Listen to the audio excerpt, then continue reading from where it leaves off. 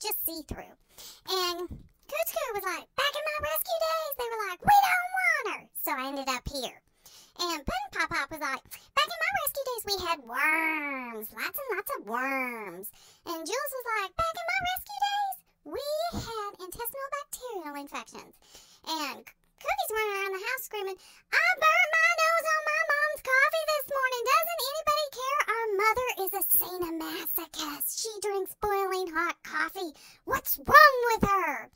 And Chappie is like, back in my rescue days, yeah, my family just packed up and left. So I was happy when they came and rescued me, and I was even more happy to like find a new family and be man of the house. And the kittens are like, back in our rescue days, you're either healthy as a horse or you have a hairline fracture on your tail. So yeah, I guess the younger generation is doing better than the rest of.